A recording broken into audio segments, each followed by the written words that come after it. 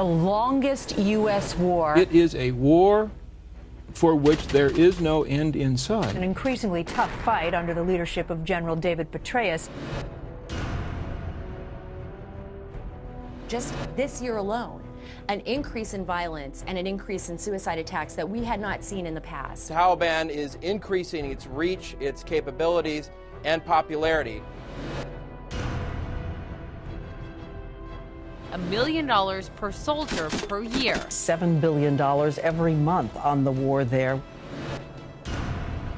A sobering milestone 1,000 Americans killed in the war in Afghanistan.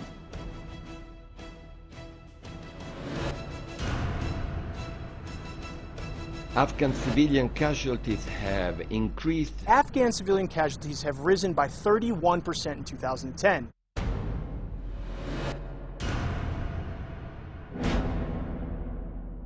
Our campaign is called Rethink Afghanistan. Rethink Afghanistan.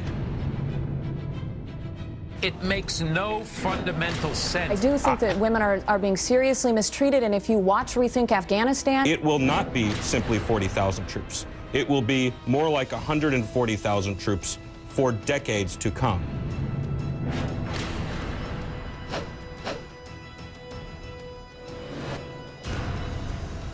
The new NBC News Wall Street Journal poll shows just how badly the American people have turned against the war in Afghanistan. 48% oppose the war in Afghanistan, up from 39% a year ago.